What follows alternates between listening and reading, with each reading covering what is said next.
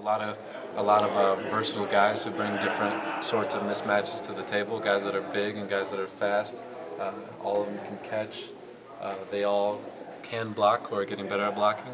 And uh, I kind of, I guess I envisioned all those guys coming along and, and, and uh, eventually getting more guys so we have an army of big, tall, fast guys uh, that can present problems for linebackers and safeties on other teams.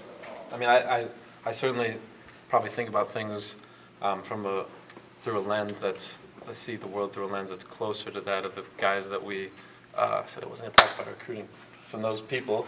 And uh, uh, so I, I think that's helpful sometimes, or, or even from our own players' perspectives, it's probably, um, it's much different, I guess, from the rest of the staff. So just like it's great to have people from different schemes, people from um, West Coast scheme and then this scheme and that scheme, all together from an offensive perspective, I think it's probably good from just the overall staff chemistry perspective. Um, I'm kind of the young guy, but I get the short end of the stick on a lot of like votes and stuff, because I'm also the youngest guy, so I'll live with it though. Do you think you could get Greg Mattison to do a Photoshop, you know, it's email? Yeah. You yeah. think you could? Oh, he's a wizard with the computer.